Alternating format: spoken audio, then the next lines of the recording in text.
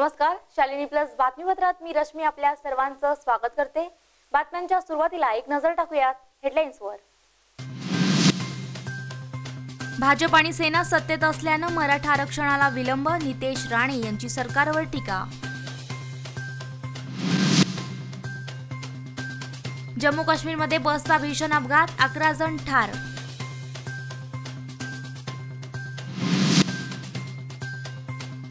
तीन राज्यात भाजपाला फटका? एक्झिट पोलचे आकडे झाले जाहीर.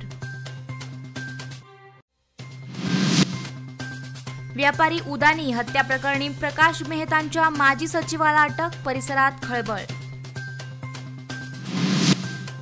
आणि रॉबर्ट वाड्रा यांच्या अडचणीत वाढ? वाड्रांच्या संबंधित अधिकाऱ्यांच्या घरांवर ईडींची छापेमारी. आणि आता पाहूयात सविस्तर वृत्त. भाजप आणि सेना सत्तेत असल्यानं मराठा आरक्षणाला विलंब केला. राणे समितीचा अहवाल कॉपी पेस्ट केला आहे. अशी टीका आमदार नितेश राणे यांनी केली आहे. महाराष्ट्र स्वाभिमान पक्ष लोकसभा आणि विधानसभा लढवतील. राष्ट्रवादी पक्ष इतका मोठा नाही की नारायण राणे राष्ट्रवादीमध्ये जातील. दोन हजार एकोणीस ला राष्ट्रवादीतील नेते महाराष्ट्र स्वाभिमान पक्षात येतील असं वक्तव्य आमदार नितेश राणे यांनी केलं आहे. पाहुयात या संदर्भातील ही बातमी. माऊली मग हातकाड की समितीच्या अहवालाचा पहिलं पान ते फ्रंट पेज ज्याला म्हणतात त्यालाच बसून मागासवर्य आयोगाचा अहवाल तयार केला गेलेला तुम्ही राणे समितीचा अहवाल आणि मागासवर्य आयोगाचा अहवाल अगर समोरासमोर ठेवला तर तुम्हाला काही त्याच्यामध्ये फरक दिसणार नाही. फक्त वरती खालती शब्द आणि ओळ्या इथे तिथे केलेल्या आहेत. बाकी सगळं सगळं राणे समितीचा अहवाल आहे. म्हणून आज जे आरक्षण मराठा समाजाला मिळालेलं आहे ते राणे समितीच्या धर्तीवर भेटलेलं आहे. सोळा टक्के आरक्षण हे राणे समितीने सांगितलेलं होतं. पन्नास टक्केच्या वरती आपण जाऊ शकतो ही शिफारस राणे समितीने केलेलं होतं. राणे समितीचा अहवाल हा जिल्हाधिकाऱ्यांच्या माध्यमातून तयार केला गेला होता.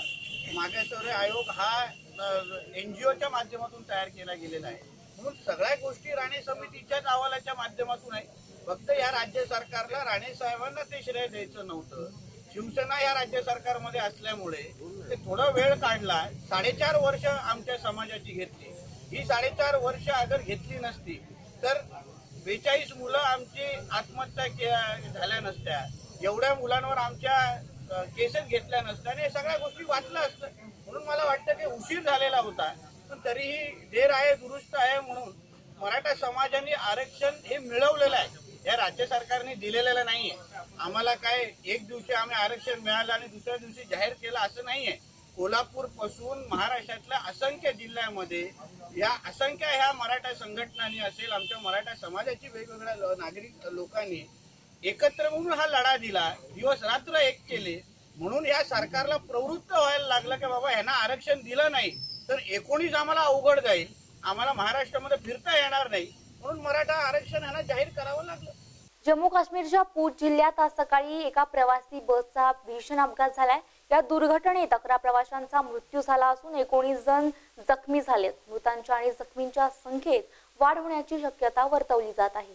अपघातग्रस्त बस लोरांवरून पूंछच्या दिशेने चालली असताना मंदीप लीरा येथे एका अवघड वळणावर चालकाचे स्टिअरिंगवरील नियंत्रण सुटले आणि ही बस शंभर फूट खोल दरीमध्ये कोसळली. घटनास्थळी युद्धपातळीवर मदत आणि बचाव कार्य सुरू आहे. मृतांचा आकडा वाढण्याची शक्यता आहे. अपघातात जखमी झालेल्या प्रवाशांची प्रकृती गंभीर असल्याची माहिती मिळतीये. राजस्थान आणि तेलंगण या दोन राज्यात काल शेवटच्या टप्प्याचे मतदान पार पडताच विविध वृत्तवाहिन्यांनी लगेच एक्झिट पोलचे आकडे जाहीर केलेत. बहुतांश एक्झिट पोल्सनी काँग्रेसला अनुकूल तर भाजपला प्रतिकूल कौल दिलाय. त्यामुळे आगामी काळात भाजपा समोर आव्हाने आणखीन वाढणार आहेत. एक्झिट पोलच्या आकड्यानुसार या विधानसभा निवडणुकांचा निकाल लागला. तर निश्चित लोकसभा निवडणुकीआधी भाजपासमोर अडचणी वाढतील. एप्रिल मे मध्ये देशात लोकसभेच्या निवडणुका होणार आहेत. मध्य प्रदेश छत्तीसगड आणि राजस्थान या तीन राज्यांमुळे मोदींचा दोन हजार एकोणीसमध्ये पंतप्रधान पदाचा मार्ग आणखीन खडतर बनू शकतो. या तीन राज्यांमध्ये मिळून लोकसभेच्या एकूण पासष्ट जागा आहेत. दोन हजार चौदा लोकसभा निवडणुकीत संपूर्ण देशात मोदी लाट असताना या तीन राज्यांमध्ये भाजपाने एकूण बासष्ट जागा जिंकल्या होत्या. मध्य प्रदेशातील लोकसभेच्या एकोणतीस पैकी सत्तावीस जागा छत्तीसगडमध्ये अकरा पैकी दहा आणि राजस्थानमध्ये पंचवीस पैकी पंचवीस जागा भाजपाने जिंकल्या होत्या. विधानसभा निवडणुकीत या तिन्ही राज्यांमध्ये काँग्रेसने मोठे मताधिक्य मिळवले तर लोकसभेतही हाच कल कायम राहण्याची शक्यता आहे. मुंबईतील व्यापारी राजेश्वर उदानी यांच्या हत्या प्रकरणात गृहनिर्माण मंत्री प्रकाश मेहता यांचा माजी सचिव पवार याला अटक करण्यात आली आहे. घाटकोपर मधले दागिन्यांचे व्यापारी राजेश्वर उदाणी यांचा मृतदेह पनवेलच्या जंगलात आढळल्यानं परिसरात एकच खळबळ उडाली आहे. सत्तावन्न वर्षीय राजेश्वर उदानी अठ्ठावीस नोव्हेंबरपासून बेपत्ता होते. उदानींच्या नातेवाईकांनी पंतनगर पोलीस ठाण्यामध्ये उदानी हरवल्याची तक्रार नोंदवली होती. त्यानंतर चार डिसेंबरला पनवेल पोलिसांना नेरे गावातील जंगलामध्ये एका अज्ञात इसमाचा मृतदेह आढळला होता. हा मृतदेह व्यापारी राजेश्वर यांचाच असल्याचं त्यांच्या कुटुंबियांनी काल कपडे आणि बेल्टवरून ओळखलं. पोलिसांनी यापूर्वी काही बारबाला आणि प्रकाश मेहता यांच्या माजी सचिव सचिन पवारची चौकशी केली होती. अपहरणानंतर राजेश्वर उदानींची हत्या झाल्याचा संशय पोलिसांनी व्यक्त केला होता. त्यानंतर सचिन पवारला शनिवारी बेड्या ठोकण्यात आल्या. विशेष म्हणजे एका प्रसिद्ध टीव्ही अभिनेत्रीची या प्रकरणात चौकशी सुरू असल्याची माहिती सूत्रांनी दिली आहे.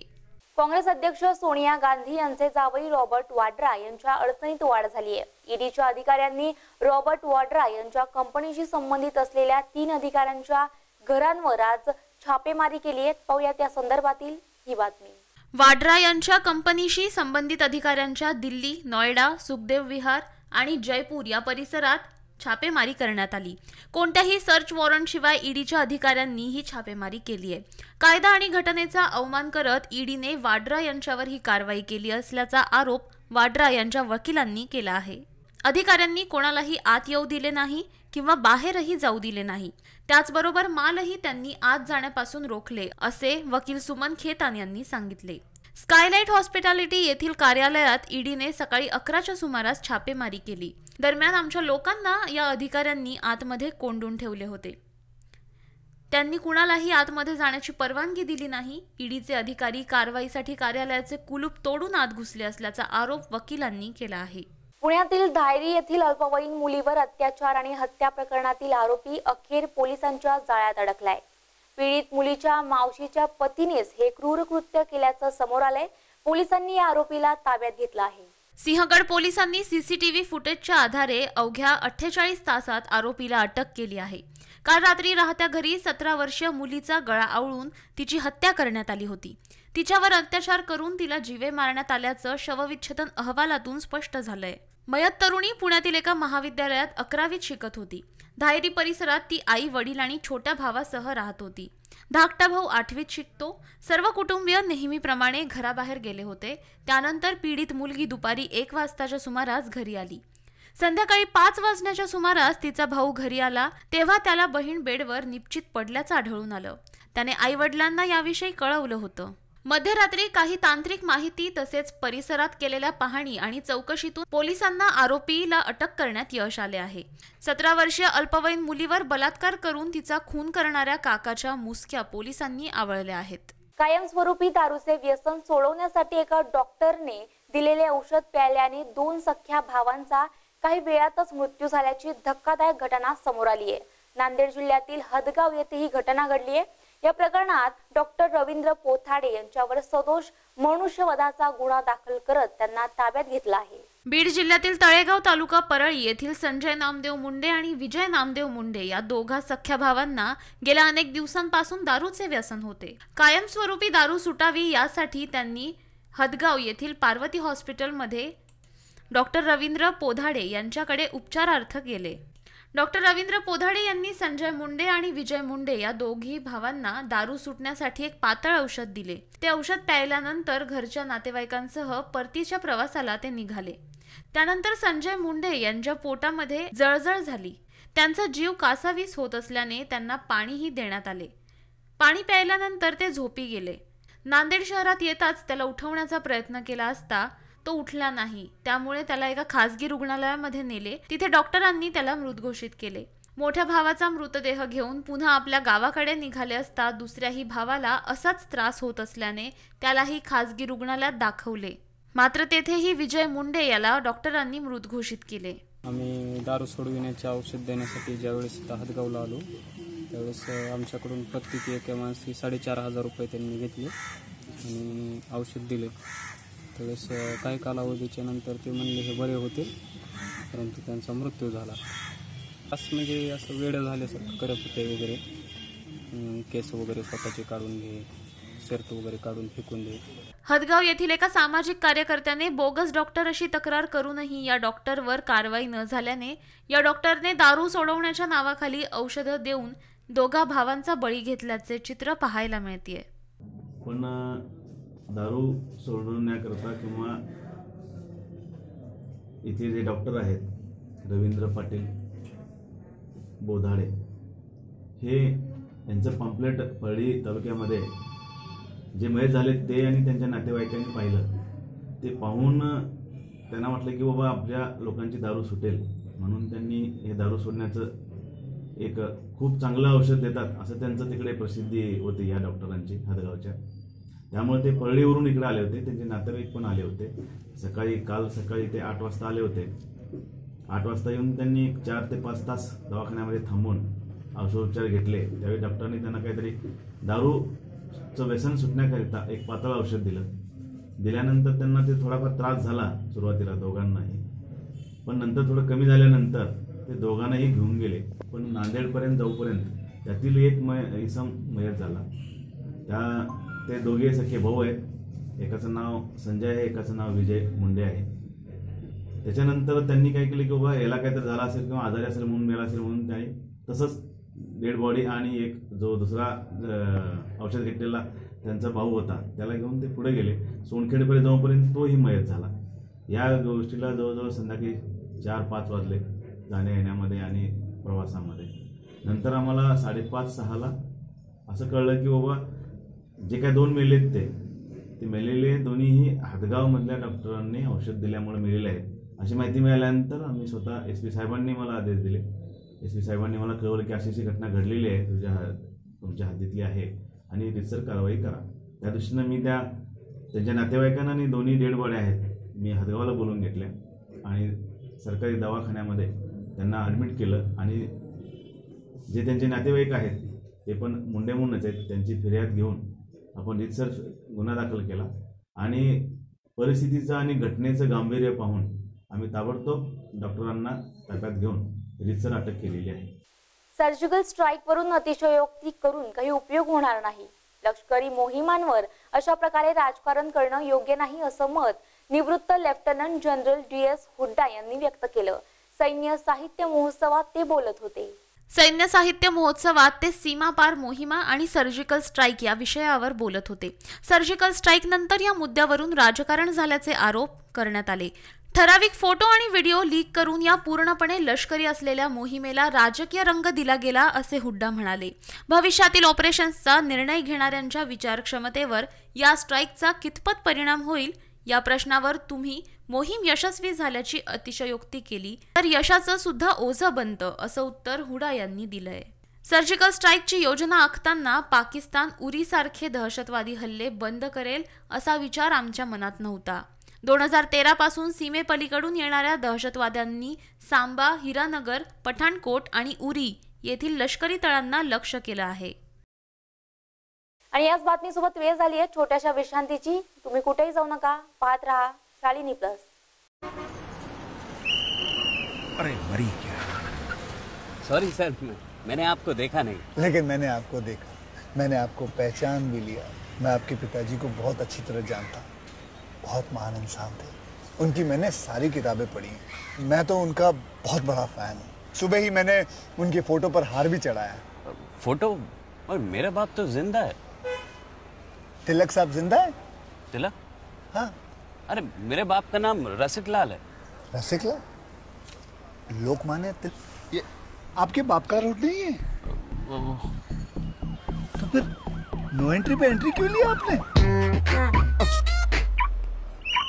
मुझे माफ़ कर दीजिए। देखिए आपकी और सबकी सुरक्षा के लिए ट्रैफ़िक नियमों का कृपया करके पालन कीजिए। क्योंकि रोड किसी के बाप का नहीं है। वेरी गुड चलिए रिवर्स लीजिए। सड़क सुरक्षा। जीवन रक्षा. विश्रांतीनंतर पुन्हा एकदा आपले स्वागत आणि आता वळूयात पुढच्या बातमीकडे. कोल्हापुरातील कळंबा कारागृह बनावट पिस्तूल आणि मोबाईल प्रकरणी चौदा सुरक्षा रक्षकांना सेवेतून निलंबित केलं आहे. अप्पर महासंचालक राजवर्धन यांनी ही कारवाई केली असून अद्याप निलंबित केलेल्यांची नावे स्पष्ट केलेली नाहीत.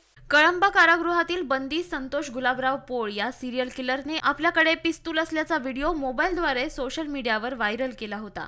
या प्रकरणाचा तपास करण्यासाठी आलेल्या कारागृह उपमहानिरीक्षक स्वाती साठे यांनी संतोष पोळ याच्यासह कारागृहातील अधिकारी कर्मचारी यांची दोन दिवस कसून चौकशी केली होती. यामध्ये सदरची पिस्तूल ही बनावट असल्याचे निष्पन्न झाले होते. शिवाय पोळकडे मोबाईल कुठून आला याचा शोध घेण्यासाठी कारागृहातील दहा संशयित कर्मचाऱ्यांची चौकशी करण्यात आली होती. बनावट पिस्तूलच्या प्रकरणाने कोल्हापूरसह संपूर्ण राज्यामध्ये एकच खळबळ उडाली होती. शुक्रवारी रात्री उशिरा कारागृह उपमहानिरीक्षक स्वाती साठे यांनी चौदा कर्मचाऱ्यांवर निलंबन कारवाईचा आदेश लाखोट्याद्वारे कोल्हापूर कारागृह प्रशासनाला पाठवला आहे. शिवशाही बसला ओव्हरटेक करताना दुचाकीला बसलेल्या धडकेत एका सैनिकाचा दुर्दैवी मृत्यू झालाय. सुदैवाने त्याची पत्नी आणि मुलगी या अपघातात थोडक्यात बचावल्या. बळीराम वाकडे असं मृत व्यक्तीचं नाव आहे. या अपघातानंतर बस चालकाला पोलिसांनी ताब्यात घेऊन त्यावर गुन्हा दाखल केला आहे. मंगळूर नवघरे येथील रहिवासी बळीराम वाकडे हे आपल्या दुचाकीवर पत्नी आणि मुलीला घेऊन चिखली ते अमडापूर मार्गाने सात डिसेंबर रोजी दुपारी जात होते. दरम्यान त्यांनी दहिगाव नजीक चांदूर रेल्वे औरंगाबाद या शिवशाही बसला ओव्हरटेक करण्याचा प्रयत्न केला. मात्र त्यांचा तोल गेला आणि बसचा धक्का लागला. यामध्ये बळीराम वाकडे हे बसच्या चाकामध्ये आल्याने ते जागीच ठार झाले. या अपघातात मात्र बळीराम यांची पत्नी आणि मुलगी सुदैवाने बचावले आहेत. परिसरातील लोकांनी तत्काळ पोलिसांना याची माहिती दिली. नंतर पोलिसांनी पंचनामा करून बळीराम वाकडे यांचे पार्थिव उत्तरीय तपासणीसाठी पाठवले. या प्रकरणी अमडापूर पोलीस स्टेशनला गुन्हा दाखल करण्यात आला असून बस चालकाला ताब्यात घेण्यात आले आहे. पुढील तपास पोलीस उपनिरीक्षक पवार आणि पोलीस कॉन्स्टेबल पाटील हे करत आहेत. नांदेड शहरातील तांडा हॉटेलचे मालक सुरेश राठोड यांच्यावर एक नोव्हेंबरला तर आशिष पाटणी या व्यापाऱ्यावर चार डिसेंबरला अज्ञात आरोपींनी गोळ्या झाडून प्राणघातक हल्ला केला होता. या दोन्ही प्रकरणात सहभागी असलेल्या दोघांना जेरबंद करण्यात पोलिसांना यश आलंय. याची माहिती जिल्हा पोलीस अधीक्षक संजय जाधव यांनी पत्रकार परिषदेत दिली आहे. एका पाठोपाठ दोन घटनांमध्ये गोळीबार करण्याच्या प्रकारामुळे नांदेड शहरात भीतीचे वातावरण पसरले होते. वर्दळीच्या ठिकाणी नामांकित व्यापाऱ्यावर गोळीबार करून गंभीर जखमी केल्याने व्यापाऱ्यामध्ये देखील भीतीचे वातावरण निर्माण झाले होते आणि पोलिसांसमोर आरोपींना पकडण्याचे आवाहन होते. नांदेड स्थानिक गुन्हे शाखेचे सहाय्यक पोलीस निरीक्षक विनोद दिघोरे आणि त्यांच्या सहकार्यांनी पोलीस अधीक्षक संजय जाधव यांच्या मार्गदर्शनाखाली गोपनीय बातमीदाराच्या माध्यमातून मौजे त्रिकूट शिवारात नदीकाठी हे दोन आरोपी वास्तव करून असल्याची माहिती मिळताच पोलिसांनी सापळा रचून प्रेमसिंग उर्फ पम्या विठ्ठलसिंग सपुरे आणि मुक्तेश्वर उर्फ गोलू विजय मंगनाळे या दोघांना पोलिसांनी ताब्यात घेतल्याची माहिती जिल्हा पोलीस अधीक्षक संजय जाधव यांनी पत्रकार परिषदेत दिली आहे. नांदेड शहरामध्ये एक ऑक्टोबर एक नोव्हेंबर आणि चार डिसेंबर या दिवशी दोन गोळीबाराच्या घटना झालेल्या होत्या. आणि या घटनांमध्ये आरोपी कोण आहे त्याचा शोध घेण्याचा नांदेड पोलीस मोठ्या प्रमाणावरती मोहीम राबवत होतं. आणि या दरम्यान या संदर्भामध्ये काही लोकांना म्हणजे जे ज्यांच्यावर फायरिंग झालं त्यांना कॉल आले होते खंडणीसाठी. आणि त्या अनुषंगाने तपास केल्या असता आम्हाला एक अतिशय खात्रीलायक बातमी मिळाल्यानंतर काल रात्री आम्ही दोन आरोपींना अटक केलेली आहे. आणि ह्या दोन आरोपींकडनं दोन मोटरसायकल बरामद केलेल्या आहेत. आणि या दोन्ही फायरिंगच्या खंडणीसाठी जे फायरिंग करण्यात आलेलं होतं सुरेश ता राठोड यांच्या वरती आणि काल अजून आशिष पटणी यांच्यावरती तर यांच्या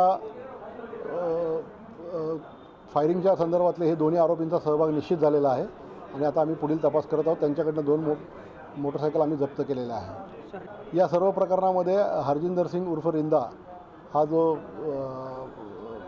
इथला लोकल जो क्रिमिनल आहे याचा हात असल्याचं स्पष्ट होत आहे. म्हाडानं मुंबईच्या यंदाच्या लॉटरीत उपलब्ध करून दिलेल्या पाच कोटींच्या तीन महागड्या घरांना चांगला प्रतिसाद मिळत आहे. ग्रँड रोडच्या धवलगिरीतील उच्च गटात जोडणाऱ्या या घरांसाठी आतापर्यंत एकशे तीस अर्ज आलेत. ही घरं कोणाच्या नशिबात येणार याचा निकाल तर सोळा डिसेंबरला लागणार आहे. उच्च गटात मोडणाऱ्या तीन घरांसाठी ऑनलाईन अर्जाबरोबर तब्बल पंच्याहत्तर हजार तीनशे छत्तीस रुपये अनामत रक्कम भरायची आहे. ही रक्कम एकशे तीस पैकी एकोणचाळीस जणांनी भरून ऑनलाईन नोंदणीही पूर्ण केली आहे. ही घरं कोणाच्या नशिबात येणार याचा निकाल सोळा डिसेंबरला लागणार आहे. यंदाच्या लॉटरीत उच्च उत्पन्न गटासाठी एकशे चौऱ्याण्णव सदनिका उपलब्ध आहेत. दहा डिसेंबर दोन हजार अठरा पर्यंत या सदनिकांसाठी अर्जदार अर्ज दाखल करू शकतात. पारतंत्र्याच्या काळात ध्वज हातात धरणे वंदे मातरम घोषणा देणे हे कठीण होतं. पण हातातील ध्वज जमिनीवर पडू न देण्यासाठी देशभक्तांनी प्राणांची बाजी लावली. त्यामुळे भारतीय अस्मितेचे प्रतीक असलेल्या ध्वजाला मानवंदना देत आजी माजी सैनिकांच्या कार्याला सलाम करत मानवी तिरंगी ध्वज साकारून पुण्यात ध्वज दिन साजरा करण्यात आला. नरे येथील जाधवर ग्रुप ऑफ इन्स्टिट्यूटच्या पॅराडाईज इंग्लिश मीडियम स्कूलसह इतर शाळेच्या शाखांतर्फे ध्वजदिन साजरा करण्यात आला. यावेळी संस्थेचे अध्यक्ष प्राचार्य डॉक्टर सुधाकरराव जाधवर उपाध्यक्ष ॲडव्होकेट शार्दूल जाधवर खजिनदार सुरेखा जाधवर यांच्यासह शाळेचे मुख्याध्यापक शिक्षक आणि कर्मचारी उपस्थित होते. ॲडव्होकेट शार्दूल जाधव म्हणाले की देशाच्या सीमांचे आणि स्वातंत्र्याचे प्राणपणाने रक्षण करणाऱ्या सैनिकांप्रती समाजाचे काही ऋण आहे. त्यामुळे त्यांना सलाम करण्याची संधी ध्वजदिनाच्या निमित्ताने साधत विद्यार्थ्यांनी हा ध्वज साकारला आहे. जाधव ग्रुप ऑफ इन्स्टिट्यूटच्या माध्यमातून आज सात डिसेंबर राष्ट्रीय ध्वज दिवसाच्या दिवशी आपण मानवी तिरंगा या ठिकाणी तयार केलेला आहे. ज्यामध्ये जवळजवळ आठशेपेक्षा जास्त विद्यार्थ्यांचा सहभाग या झेंडा बनवण्याच्या याच्यामध्ये आहे. आपण जर हा झेंडा अतिशय लक्षपूर्वक जर पाहिला तर याच्यामध्ये जो अशोक चक्र आहे त्या अशोक चक्रामध्ये महिलांचा जास्तीत जास्त आणि मुलींचा सहभाग त्याच्यामध्ये करून घेतलेला आहे. ज्या अशोक चक्राच्या मध्यभागी बरोबर जी मशाल आपण दिलेली आहे ही जी मशाल आहे ही मशाल विमेन एम्पॉवरमेंट महिला सबलीकरणाची आहे. या ध्वज दिवसाच्या दिवशी आपण काहीतरी संदेश दिला पाहिजे. जसं तिरंग्यानं संपूर्ण देशाला एक सूत्रामध्ये बांधण्याचा त्या ठिकाणी चांगल्या पद्धतीचा स्वातंत्र्याच्या आधीचा जो प्रयत्न अतिशय चांगल्या पद्धतीनं झाला तिरंग्यामुळे. लोकांच्या सर्व जाती धर्मांच्या मध्ये त्या ठिकाणी एक भावना चांगल्या पद्धतीची निर्माण झाली. आज त्याच पद्धतीने याच तिरंगाच्या माध्यमातून स्वातंत्र्य तर मिळालेलंच आहे. काही दिवसांपूर्वी आंतरराष्ट्रीय क्रिकेटमधून निवृत्ती घेतलेल्या गौतम गंभीरनं आपल्या अखेरच्या रणजी क्रिकेट सामन्यातही धडाकेबाज खेळी करत शतक झळकावलं आहे. आपल्या घरच्या मैदानावर खेळणाऱ्या गौतम गंभीरनं आंध्र प्रदेश विरुद्धच्या सामन्यात एकशे बारा धावा पटकवल्या. या शतकी खेळीत त्या गौतमने दहा चौकार ठोकले. या शतकी खेळीत सदतीस वर्षीय गौतमने दहा चौकार ठोकले. आंध्र प्रदेशने पहिल्या डावात तीनशे नव्वद धावा करून दिल्लीला मोठं आव्हान दिलं होतं. मात्र गौतमने सलामीला फलंदाजीला येत या आव्हानाचा नेटाने सामना केला. गौतमच्या खेळीमुळे दिल्ली आंध्र प्रदेशवर पहिल्या डावात आघाडी घेणार आहे. हे जवळपास निश्चित झालं आहे. दरम्यान पहिल्या डावात फलंदाजीसाठी मैदानात येत असताना सर्व खेळाडूंनी गौतमचा गार्ड ऑफ ऑनर देऊन सत्कार केला. गौतमचा हा अखेरचा रणजी क्रिकेट सामना असणार आहे. भारताला दोन विश्वचषक मिळवून देणाऱ्या गौतमने आपल्या रणजी क्रिकेट कारकिर्दीचा शेवटही तितकाच शानदार पद्धतीने केला आहे. आणि बातम्यांच्या शेवटी पुन्हा एक नजर टाकूयात हेडलाईन्सवर भाजप आणि सेना सत्तेत असल्यानं मराठा आरक्षणाला विलंब नितेश राणे यांची सरकारवर टीका. जम्मू काश्मीरमध्ये बसचा भीषण अपघात अकरा जण ठार.